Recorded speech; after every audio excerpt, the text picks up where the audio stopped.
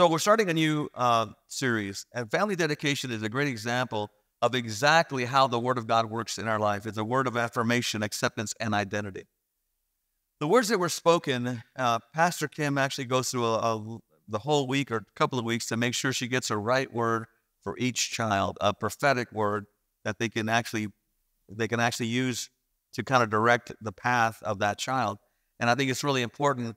Um, you know, I don't know, growing up, we were, my brother and I were a year apart, and my family, this small little town, you know, small town, everybody knows everything about your life.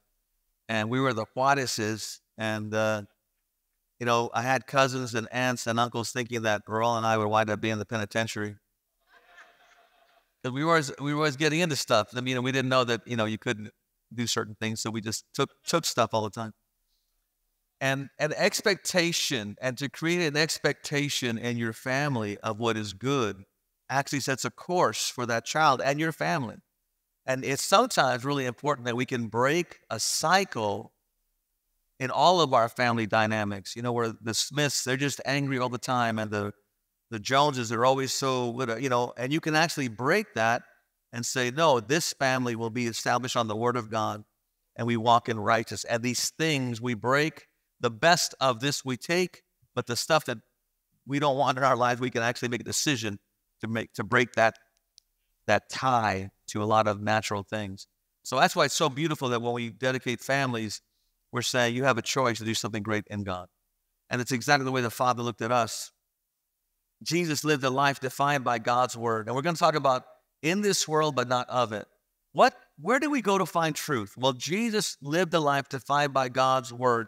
He didn't fall to the temptation of being redefined by culture, emotion, government, or dead religion. And we make that choice every day. Are we going to be influenced by culture, by religion, by all, all the stuff that coming against us are trying to influence, influence, influence you to build something different. And we build our life, we have to build our life on something. And don't be, don't, don't be ignorant of this fact. Whatever you watch on TV, whatever you watch at, at all, whatever you experience, there is an agenda being purported against you, and it's usually against God. So you have to understand every show you watch, everything you do, there's a thing of, there's an underlying agenda to take your eyes off of a righteous life, living in righteousness. And there's a driver right now, especially right now in the last, you know, uh, 10, 15 years. It's amazing to me that we are probably at the pinnacle of society's ability to find truth, to find.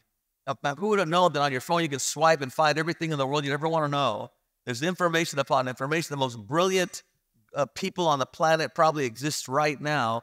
And yet, right now, one of the biggest struggles that people have is knowing who they are.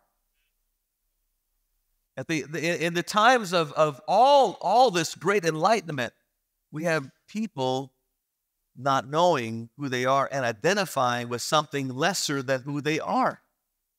They're identifying with creation instead of the creator. And it's, it's just an interesting place. So the need to be accepted in this is the driver. The need to be accepted is the driver in most controversial discussions in our culture of lost purpose and identity. There's still this driver that's, that's affecting every aspect of life. What do I identify? What is my identity? And we're designed by God for the holy, and we settle for stuff of the flesh, of this world. We're designed for purpose and direction and eternity, and we get caught up with all natural, limited stuff that we face in a vapor of time world. And we're distracted because we don't know who we are. So, what's the first thing? I love the way God thinks. The first thing He did with Jesus was affirmation an affirming word. And y- y'all, humanity is looking for affirmation somewhere to be affirmed, to be to be identified as I'm in, I'm okay. Had a great conversation just recently with a, a brother who's who uh, who didn't know he had you know 30, 30 50, some, might have been 50 years ago. He had an indiscretion. He had an affair, and um, didn't know it. Didn't know that there was a not that he knew he had an affair. He knew he had an affair. Don't get me wrong, but No, he definitely knew he had that. But what he didn't know was that a, a, a son was born from that affair. And the, the, wife, the woman never told him. So 50 years goes by. He gets a, a knock on the door and say, listen, I just want to, I'm, I'm from, and, and the, the brother, this friend of mine said, if I would have known, and the, the only thing the son wanted to hear, this child wanted to hear was, did you not want me? The driver of his life for all these many years. And the, the, the woman wouldn't tell him about this individual. He kept him completely. And then somehow, through a, as a matter of fact, through a DNA thing, you know, uh, I 23, whatever that is, you know, you find your, they found this connection. Who is this guy? And they, and this guy shows up and saying, I just want to know, did you ever want me? There's this desire in every human to be affirmed by a father to be connected and this incredible reunion of life after so many years. Isn't that amazing what love can do? What affirmation can do? And this restoration of relationship, even though it's in its latter days, thank the Lord. This man has a whole other family now that he can be a grandpa to and a father to that he never knew but there was a child crying out, Did my father ever want me? And I think, in all honesty, society is crying out, Is there a father up there somewhere that wants me? Identity and affirmation are so closely related. God, in all his wisdom, pronounced an acceptance of his son before he would be tempted to try and earn it. Now, you have to have this perspective. You have to understand Jesus was all God, but he was also all man. He was a man. And so, as a man, I believe he needed to hear from Father. As a man, like we all, humanity needs to hear from Father. And because God knew that affirmation was so vitally important to all of us. In Matthew 3:16, it says, when he was being baptized, Jesus came up immediately from the water, and behold, the heavens were opened to him. And this is really important. God, Jesus, the man, the Son of Man, look what it says.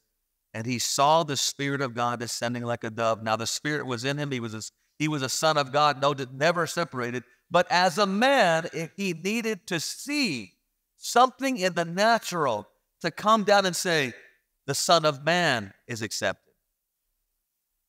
And he saw, and God met him at his need to see. Love's an empty word, it has to be seen, y'all. And he saw the Spirit of God descending like a dove, and it, uh, it lighted upon him. Verse 17, and suddenly a voice came from heaven, and he heard. This is what he heard. He saw and he heard this word that would keep him for the rest of his life as the Son of Man. Not the Son of God, the Son of Man needed to hear this. This is what he heard. And suddenly a voice came from heaven saying, This is my beloved Son in whom I am well pleased. If Jesus was tempted in every way, in Hebrews 2 17 and 18 and 4:15, it says that Jesus was tempted in every way, then Satan's greatest strategy of questioning identity had to be addressed. Identity had to be addressed. How did Adam and Eve fall? the devil said, Did God say? Causing a doubt of who God really was. Well, you know that he, God's kind of worried that you'll, you'll be like him. Trying to distract them from the relationship with their father by a lie and challenging identity. Do you know who you are? There's a mandate in this church that I've told the children's pastor, I've told the youth pastor, and I told us old pastors as well. We have to make sure that at three years of age, when a child gets tempted by the devil on identity, he knows who he is. She knows who she is. That at 13, when they get challenged with identity, that they know who they are. At 33, when you get challenged with identity, you know how to respond. I know what God has said that I am. I am not dictated by my past. I'm not held back by by whatever someone stated. I know what God has said. And if I had terrible situation growing up, I never heard an affirming word from any man, any woman, I know what God has said. we need this affirming word as well. We need to hear from the Father This is my beloved Son, this is my beloved daughter, in whom I am well pleased. Affirmation establishes identity. Galatians 4 6. Because you are sons, God has sent the Spirit of His Son into our hearts, crying, Abba, Father. Not great Jehovah, not King of Kings, not Lord of Lords, but there's a spirit that God laid into your heart that cries out, Daddy, God. Remember all these kids that were here, all these little kids, and the ones that eventually will talk? And they're going to say mommy and daddy eventually. And when you hear this child, when remember when the first time you heard, and, and you and your wife got into a fight of who who was who, what he said first, or what she said. You, know, she said mommy. When she said that, when you hear this child reach out to you and say, Dada, and you go, What? We're talking. He knows who I am. That's the spirit that God laid into our hearts. That we would look up and go, Dada. And he would go, We're having communication. Hey, buddy, how you doing? Y'all, that's the spirit that we have with God. It's not, Thou art Lord, far away from me, hallelujah. It's not like that. It's Abba. That's the relationship you have with Father. Verse 7 Therefore, you are no longer, you are no longer slaves, but a son, and if a son, then an heir through God. You're not a servant, you're not a slave, you're not the guy in the back that God goes, Oh, is he coming? They're allowed to walk in the room? Please don't look at him. He let's not don't make eye contact or go. No, God is, is looking for you. And when you cry, Abba, he goes, Hold up, my son and my daughter, they're calling my name. Abba. We are heirs. So when you understand the affirmation of Father, God Creator, looking down and calling you my son, my daughter, my heir, it changes everything on who you are. John 1:12 says, "But to all who believed in him and accepted him, he gave the right to become children of God. They are reborn, not with a physical birth resulting from human passion or plan, but a birth that comes from God. You've been born again. You are a child of God. You are an heir, not the lost. You are found. And he's looking at you and says, and says, I love you.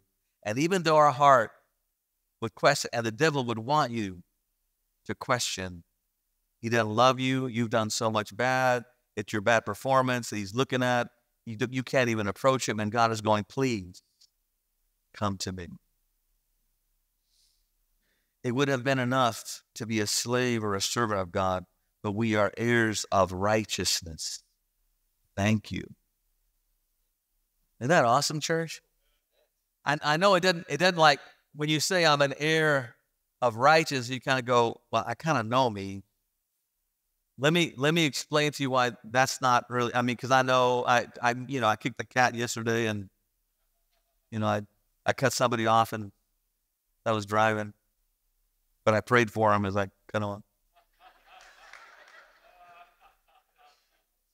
When God says, and you got to remember, when God spoke, when God spoke, nothing became something, right? And God spoke, and there was. God has spoken. You are my heir. Don't argue with it. Just go, thank you. Just don't get it, but okay. And the creation of that thing will come alive in you as you embrace your right to be an heir of God. That's who you are.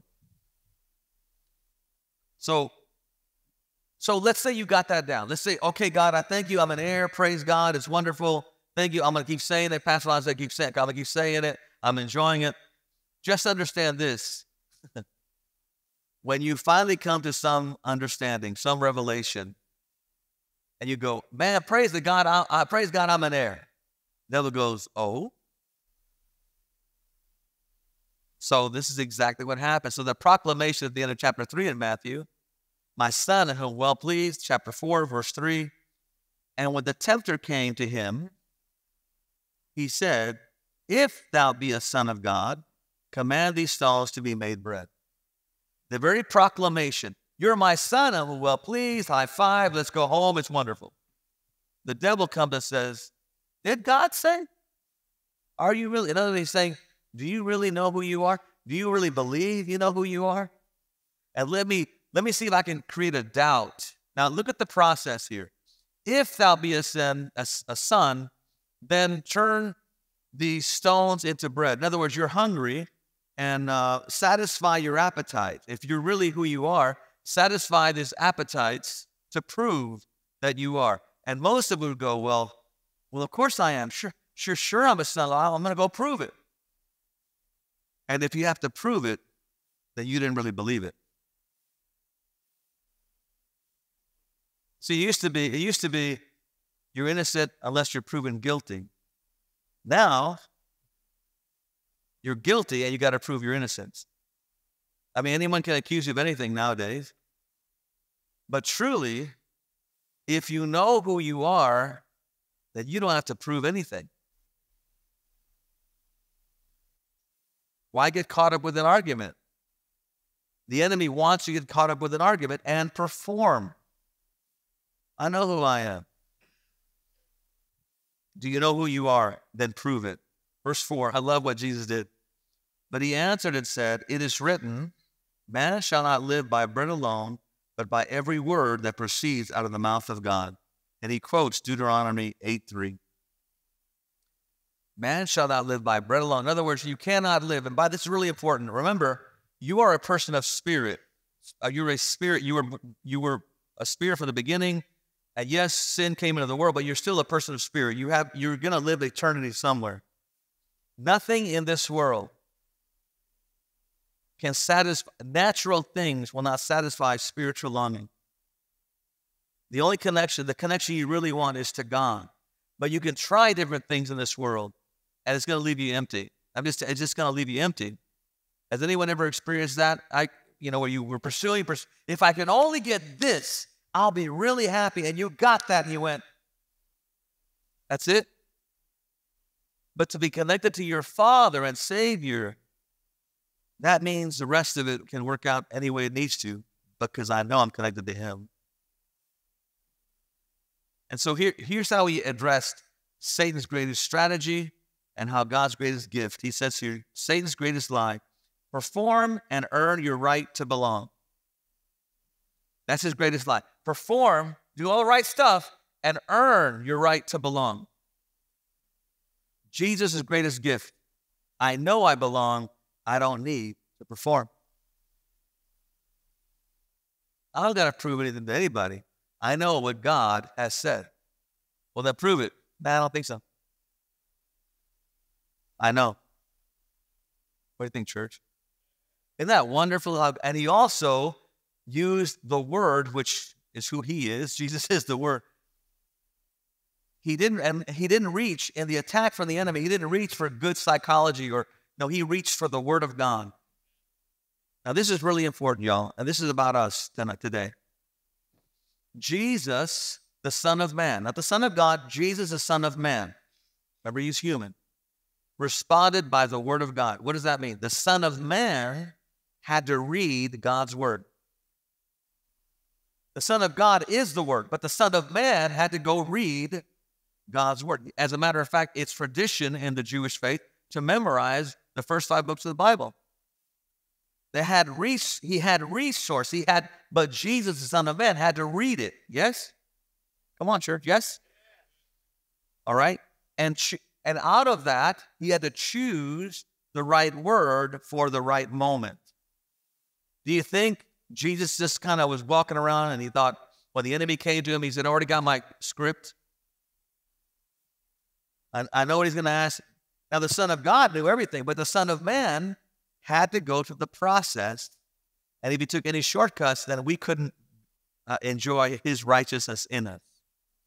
He had to achieve victory as a man, which meant he had to read it, he had to retain it, And then when the attack came, he had to, this is the word I'll use. Right, church? We live by the same process. I don't live by feelings, emotions, or circumstances.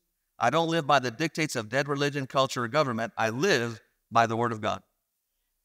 The Word of God is alive and it's it, every it's it's ever changing. And I, and you, know this, church. Remember what when when you would come across a scripture and, and it was cool and you and you just read it and you read it about a thousand times, and all of a sudden one day you open up and you read it and it just kind of comes alive, like you've never seen it before in your life. Like, where did this come from?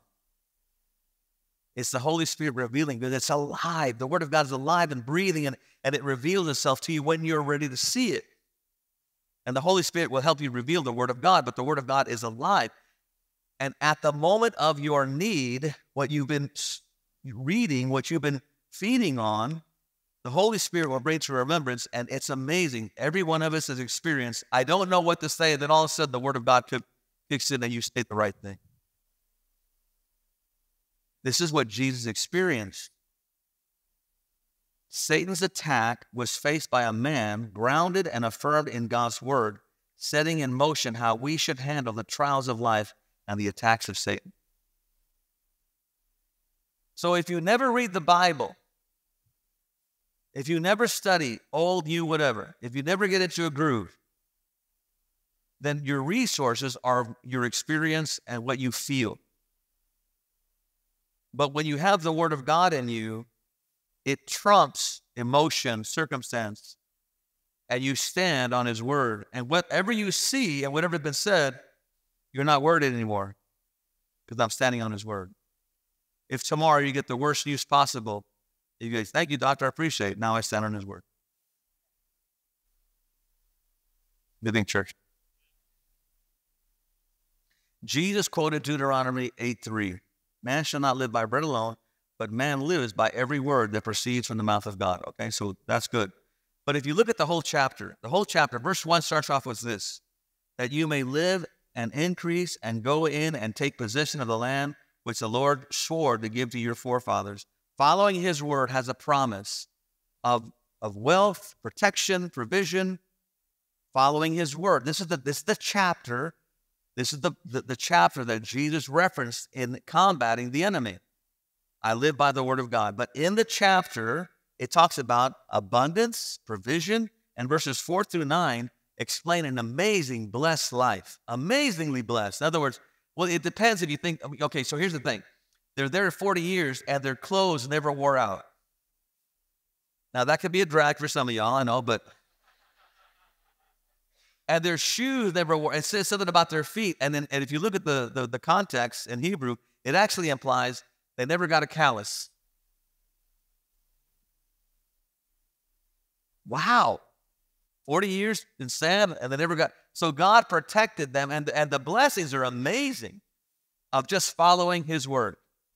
If you look at the chapter, it's the results of knowing who you are, and the results of knowing who God is in you and knowing His Word is to be blessed.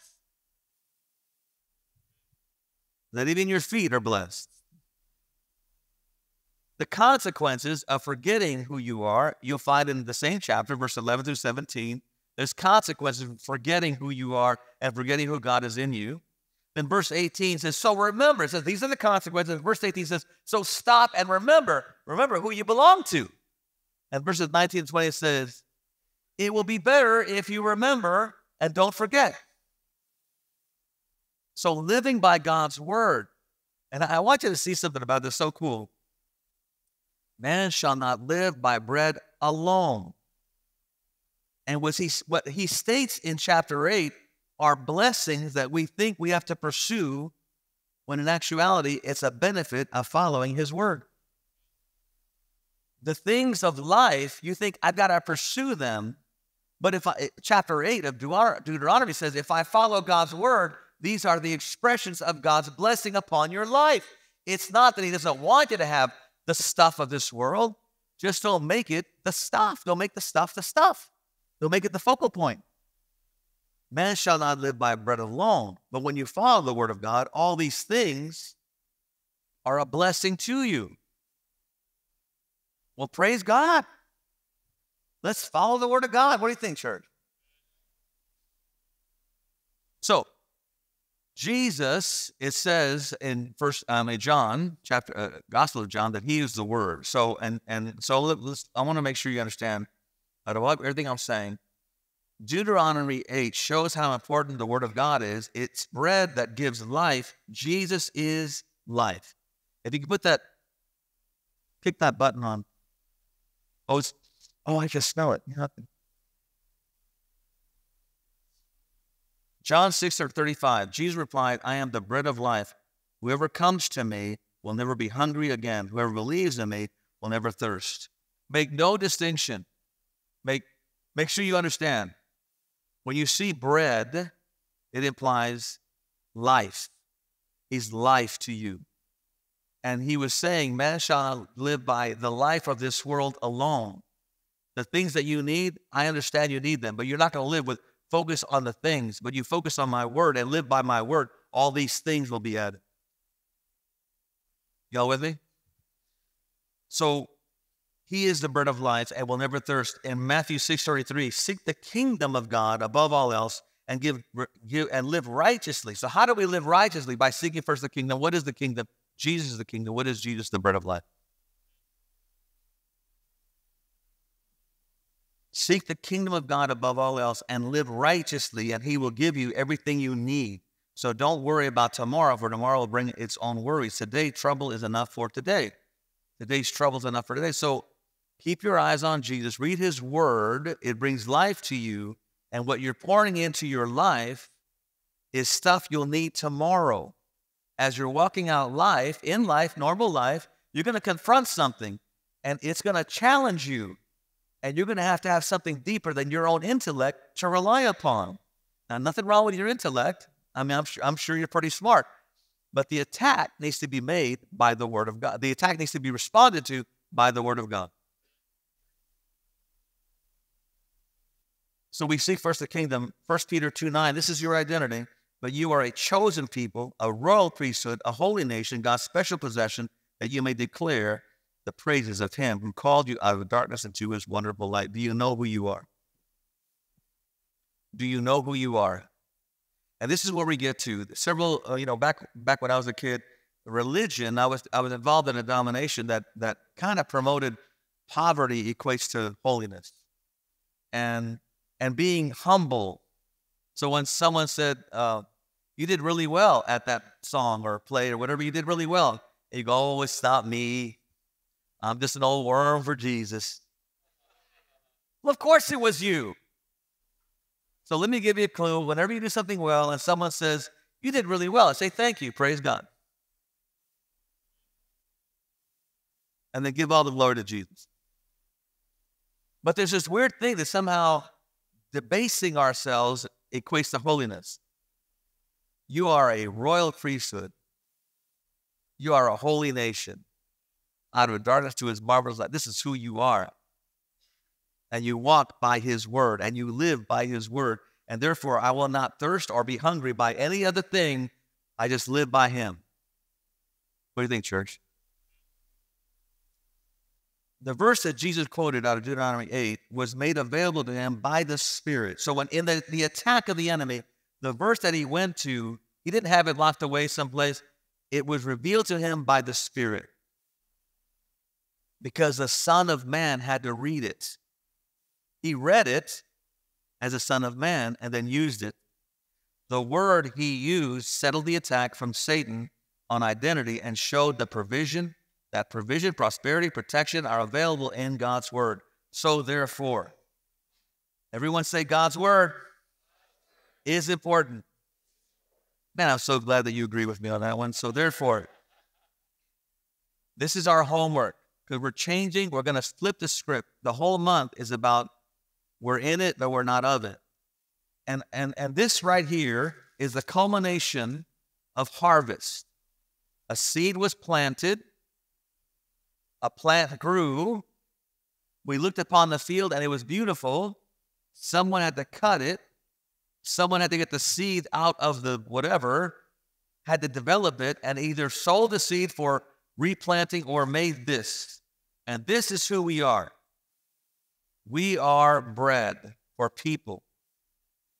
And what how we live by the word of God brings life to people. So you have to have the word of God in you. So this is your homework for the week. Y'all ready? I want you to read, and I want us as a body to read the book of Matthew and the book of Galatians in the Bible. The book of Matthew and the book of Galatians. By the way, everyone can, uh, ushers, you can go start passing out that bread, if you will, now. Now, the book of Matthew bridges the gap from Old Testament to New Testament. It makes um, more references to the Old Testament than any other gospel. It shows how Jesus fulfills the prophecy made about him, and it focuses on Jesus being the Messiah. So I know chapter one will be difficult. The begetting thing is really long, but I want us to get into um, a habit. And by the way, right now we're passing out bread. This is going to be for communion today. Take, take a little package, and this is what we'll use for communion as a touch point, as saying, We're taking in the bread of life, and I'm going to put in the bread of life in my life, and I will be bread for others as I live out my life. So make sure you get your bread. So we're going to read the book of Matthew because it's so much about the Old Testament, the New Testament, and magnified Messiah. We're going to read Galatians because it deals with the relationship between Christian Jews and Christian Gentiles. Justification comes by faith in Jesus Christ, not by works under the law. Because you belong to Him, the fruit of the Spirit should be evident in your life. So here's what I want you to do this has been our custom. This is where we are right now. Everybody, listen very carefully as you get the bread. Our society right now, and your kids and you as well, adults, will spend hours going, Or we'll sit in front of the TV set for a couple hours and watch it. There's nothing wrong with any of that. But if that's all you do, you're being indoctrinated in something lesser than who you are. We have to have a different perspective, and the perspective is the Word of God. And if you're a follower of Jesus, you have to have the Word of God. You have to have to you have something to go to when you're hit with attacks from the enemy or just natural life. You have to have something that you stand on that's beyond the natural impact of life. Something bigger than you, and you find it in the Word. And what's going to happen is this as you take time away from your TV time, and as you take time away from your scrolling or, you know, just going, oh, TikTok, that's a, oh, what, what is that? Really? Is that a bunny? What, oh my God. And start pouring into the Word, this is what's going to happen. Next week, as you're studying the Word of God, and specifically what I've shared with you today is prophetic, I believe is the reason for it, and you study Matthew and you study Galatians, what's going to happen is you're going to face something by Wednesday somewhere that you're going to need the Word, and you're going to have read something that will be perfectly adapted to what you need to have to say. You'll get it someplace, and it'll be from your reading. And you'll go, I know what to say because you're pouring into your spirit because you're about ready to face trials of many kind like the bible says and now you have resource beyond emotion beyond circumstance beyond stuff beyond my past. Now you go this is what the word of god says. I belong to him. That's unshakable. He sees me complete. And then all of a sudden when, when the attack comes from the enemy a verse will come up of what you just read to meet the attack this is normal life, church. And in the last days, there's a numbing, a dumbing down of people not walking by the Spirit. It's part of what's happening in the world today. And we're going to be different. We're going to pour in. So if we really are in it and not of it, the only way that's possible is if you have something in you. What you have in you is His Word.